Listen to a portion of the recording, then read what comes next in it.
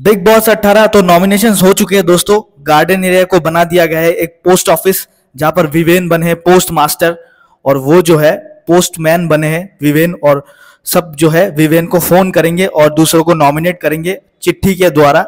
और विवेन जो है चिट्ठी पे नाम लिखेंगे उनका, और विवेन ही जो नॉमिनेशन करेंगे विवेन खुद टाइम गॉड और वो जो है टेबल पे बैठेंगे और चिट्ठी को खारिज कर सकते हैं, विवेन।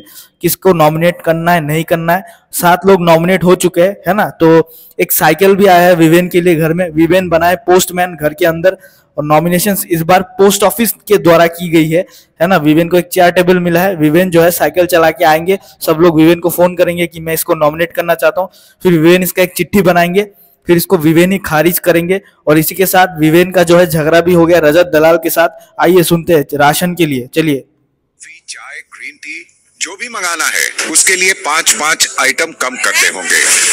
पाँच आइटम कर देंगे माइनस कोई दिक्कत नहीं। नहीं, मेरी कॉफ़ी से नहीं आई है this is the third week ration आएगा।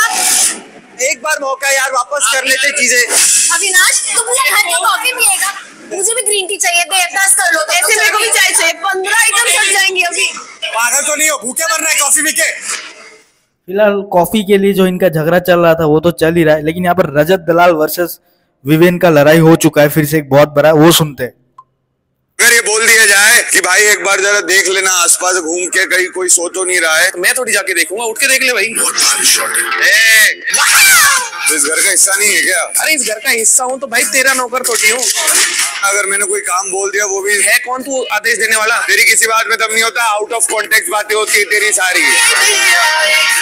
मैं मेरी मर्ज़ी से चीज़ तो करूँगा। सबने अपने अपने मन की करनी है मैं नहीं करूँगा। महसूस करा दूँगा मेरी बातें कितना बड़ा ऑर्डर है।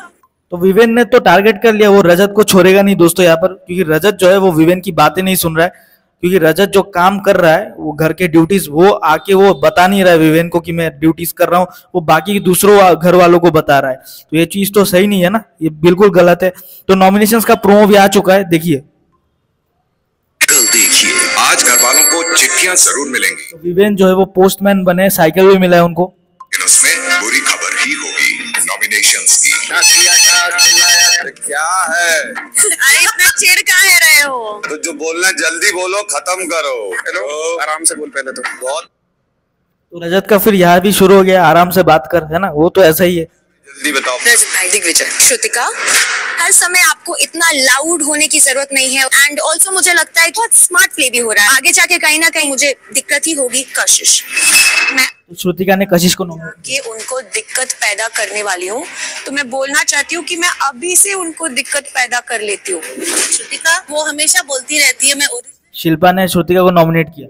हूँ लेकिन वो दूसरों के थॉट प्रोसेस को नजरअंदाज करती है बोलती रहती है मैं ओरिजिनल नहीं हूँ लेकिन वो दूसरों के थॉट प्रोसेस को नजरअंदाज करती है वो ताने मारती रहती है। तो शिल्पा मैम। एलिस वो वुमन कार्ड प्ले Oh करना my उस गेम के अंदर। करण का नॉमिनेशन एक्सेप्ट नहीं किया जाता है। करण का नॉमिनेशन एक्सेप्ट नहीं है, खारिज किया जाता है। तो देखा दोस्तों, मैंने बोला था विवेन जो है वो बने पोस्टमैन घर में और घर गार्डन एरिया को पोस्ट ऑफ़िस बनाया गया है और एक एक करके विवेन को फ़ोन करेंगे और अपने नॉमिनेशंस के नाम बताएँगे और सात लोग नॉमिनेट हो चुके हैं, मैंने बता दिया है। तजिंदर बग्गा का नाम जो है, वो घर से बेघर होने वाला है, तजिंदर बग्गा। है ना, घर में हो रहा है कलेश, सुनिए।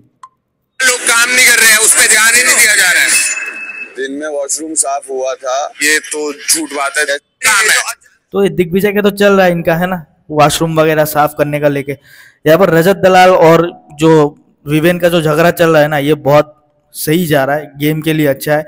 लेकिन दोस्तों यहाँ पर जो रजत जो चीज़ कर रहा है वो चीज़ सही नहीं है बिल्कुल है ना? ये चीज़ जो है बिल्कुल सही नहीं कर रहा है वो। ये चीज़ बहुत भारी पड़ेगी उसको एंडिंग में जाके। फ़िलहाल मैं निकलता हूँ। वीडियो को लाइक करिए चैनल को सब्सक्राइब करिए।